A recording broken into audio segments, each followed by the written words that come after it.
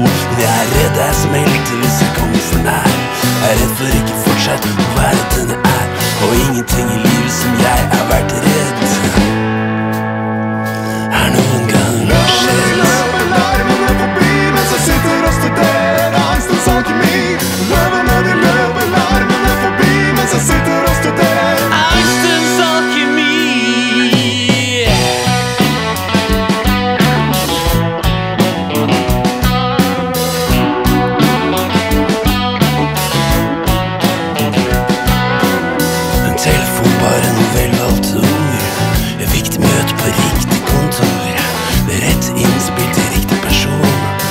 rett kode og konfusjon.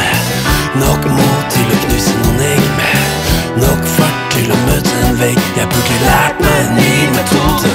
Jeg trenger innsyn i eget hode. Men jeg vet jeg går på trynet hvis jeg tar et skritt.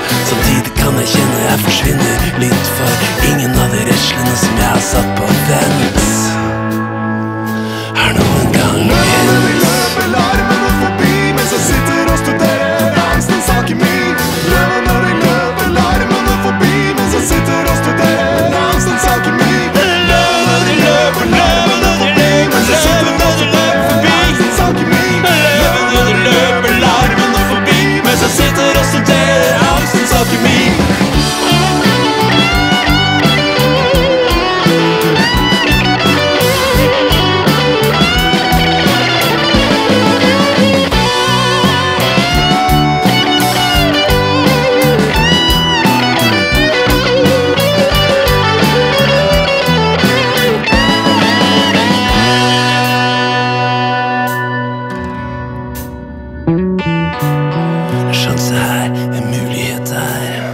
Alt renner ut mellom mine tær.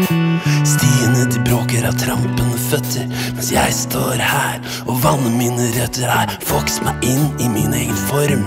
Jeg som heller burde gått med i en storm. For jo lenger jeg står her og ikke faller, og lyden blir fjern fra alt det farlige som kaller, jo lenger unna synsparadiset.